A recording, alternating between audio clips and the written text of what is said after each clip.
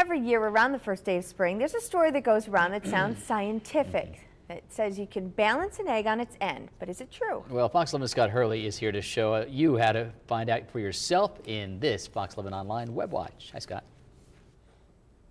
Morning, Pete. Well, as you know, the Earth is in a balance this time of year. Daytime and nighttime are the same length. Well, that's one possible explanation for the myth that today is the only day of the year that you can balance an egg on its end. Type in egg equinox on YouTube and you'll get quite a few results. Some come from people trying to balance eggs on their ends on the first day of spring.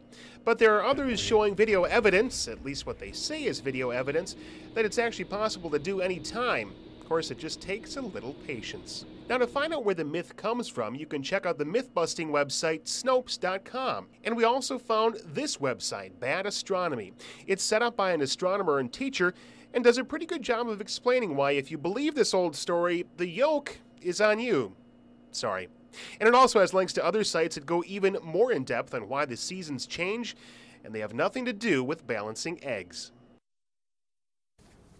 And as always, you can find these websites for yourself, Pete and Rachel, by going to fox11online.com, click on the Good Day Wisconsin tab, and then on Web Watch links. Because you don't want the yolk to be on you. No. Exactly.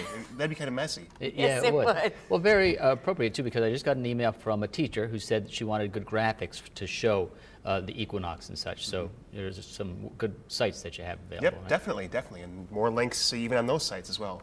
All right. Thanks, Scott. Sure.